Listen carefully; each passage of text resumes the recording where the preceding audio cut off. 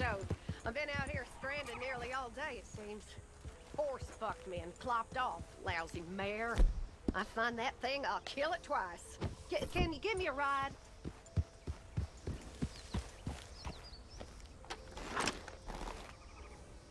Oh, see, I knew you looked like a good one.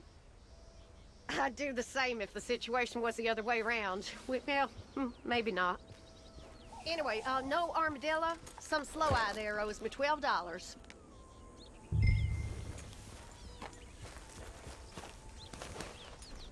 I best not get booked off again. I'm getting real tired of this crap, you know. Every day it's something else. Life's shit and then you die, my ma used to say. Not that that woman ever smiled until her blood was half whiskey. Probably get the fever in Armadillo over this $12 too, knowing my luck. Anyway, I'll shut up. You're bowling me over with your sympathy.